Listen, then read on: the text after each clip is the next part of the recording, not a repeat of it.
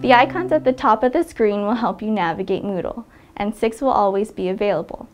To return to the Moodle home page, click the house. The user profile icon is where you would log out of Moodle, along with a few other tasks. The My Courses icon, which resembles a computer, opens your My home page. The navigation icon offers a way for you to quickly navigate to important pages. The Settings button, the one that looks like a gear, offers access to various settings.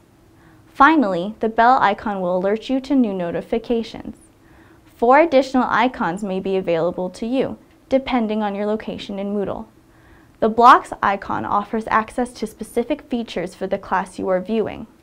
The People icon lists the names of your classmates. The Calendar icon allows you to view the course calendar.